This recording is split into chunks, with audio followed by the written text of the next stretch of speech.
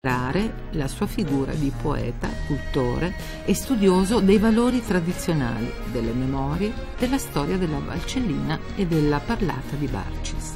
Abbiamo inteso onorare questo nostro poeta eh, perché è stata una figura veramente mitica perché lui praticamente con la sola terza elementare si è fatto una cultura da autodidatta, ha imparato il latino, ha imparato il greco, ha imparato le lingue, ha scritto, ha fatto poesie meravigliose. E quindi noi abbiamo cercato di eh, rionorarne la memoria con questo premio che anche quello è nato subito bene, ha avuto un grande successo e quest'anno abbiamo avuto più partecipanti al, alla, alla, al premio letterario che abitanti di Bacis, quindi è tutto dire. Il premio Malattia dal 1991 è stato aperto anche alle etnie e alle lingue minoritarie, che sono albanese, catalano, grecanico, tedesco, occitano, croato, franco-provenzale, friulano, ladino, serbo e sloveno.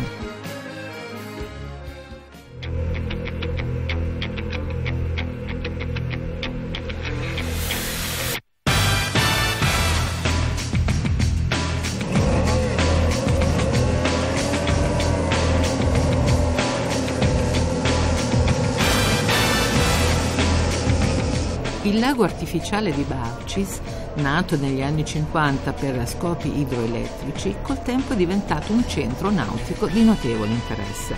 Nel 1985 nasce un progetto che allora sembrava quasi impossibile da realizzare, ovvero ospitare manifestazioni motonautiche di circuito e invece va in porto e nel 1992 alle prove di campionato italiano si aggiunge anche una gara valida per il campionato europeo.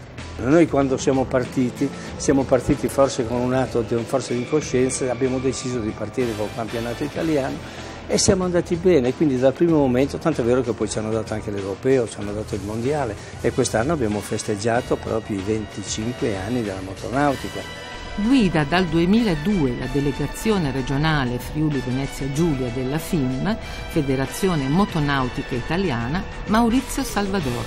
Tra gli ideatori delle gare di circuito e promotore di grandi eventi sportivi a livello regionale, tra cui le Universiadi.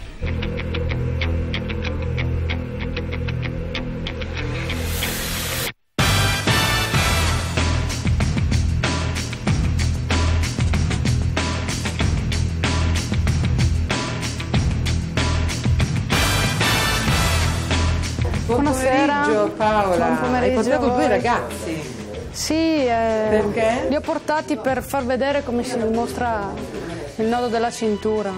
Come faccio La cintura, allora dovete sapere che Paola Boz è campionessa mondiale di sumo, medaglia d'argento 2008 ai mondiali, sì. bronzo eh, agli 2008 europei. agli europei e anche lo scorso anno eh, bronzo ai mondiali in Thailandia. Complimenti. Grazie. Allora, adesso prima di mettere la cintura al ragazzo vorremmo capire come mai a Barcis nasce una campionessa di sumo. Ma io mh, mm, ho praticato judo 25 anni mm. e poi quasi per gioco ho iniziato, a, ho iniziato a fare sumo. La mia fortuna è che riesco a farlo come professione, faccio parte infatti delle Fiamme Azzurre, che è il gruppo sportivo della Polizia Penitenziaria e, e lo faccio diciamo a tempo pieno. Ma quanti metri sono Paola? Eh, sono più di 5 metri. Però chiaramente voi eh, donne non, cioè, avete una tuta sotto, immagino. Sì, c'è un body, indossate. le donne hanno un body. Allora scavalca Luca, là, tieni qua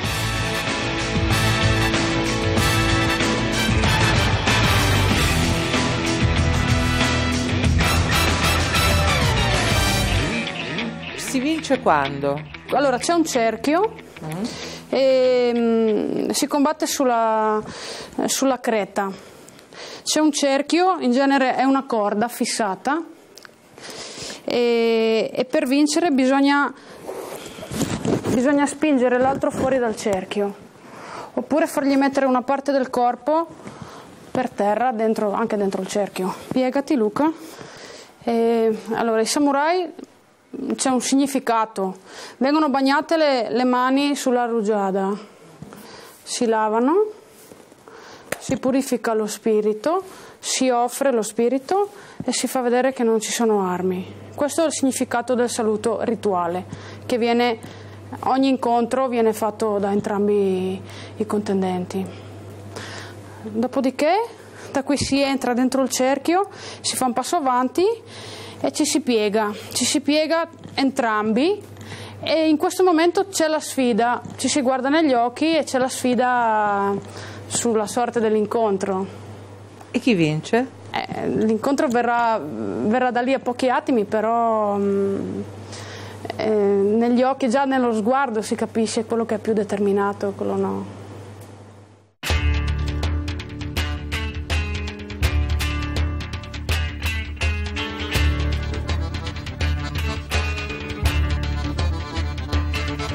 Eh, io mi penso che mio padre mi contava che quando era canais, lassù dal punto di vista del canale, eh, e che non era nuova da mangiare o era poco, eh, intanto che sua nonna metteva sulla polenta, loro canais si iva a, pest- a pestiare le trotte o i morsons e le trotte venivano fatte così.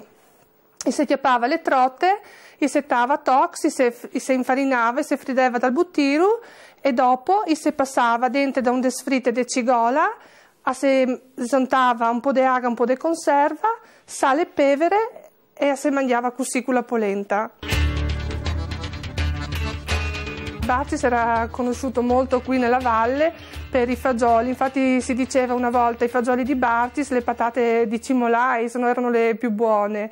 E I fagioli erano anche quelli fatti in maniera abbastanza semplice, o si faceva il minestrone che veniva servito anche anche nei, nei, casoni del bosco, così, quando i boscaioli così tagliavano i boschi, la sera veniva sempre servito tutte le sere il minestrone. Un bel minestrone caldo, sempre, sempre. E quindi tutte le sere il minestrone, si serviva il minestrone oppure si facevano i fagioli in umed, come si faceva in umido, come si facevano qui appunto.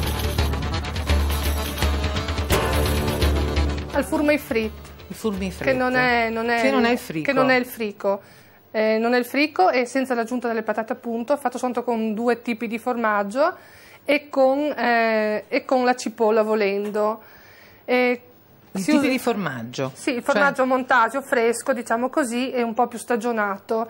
E, um, niente, quando veniva fatto il formai, il formai frit veniva fatto appunto con... Um, veniva fatto con il formaggio salato, si usava, perché poi era troppo saporito, si usava mettere sopra il formaggio cotto le uova senza sale, questo toglievano un po' di sale e lo manteneva anche più morbido, diciamo così, no? Con qualche altro piatto, lei mi parlava prima di un pesce. Eh, marinato, no? Eh, sì, gli sclopetons, eh, sono le salacche appunto che si mettono, eh, si mettono eh, sotto sale pressate che poi appunto durante l'inverno un, un, piatto invernale diciamo così si usa appunto brustolirlo sulla brace poi condirlo con la cipolla, l'aglio e eh, l'olio e l'aceto e si mangia con la polenta si mangia questo piatto qui freddo con la polenta calda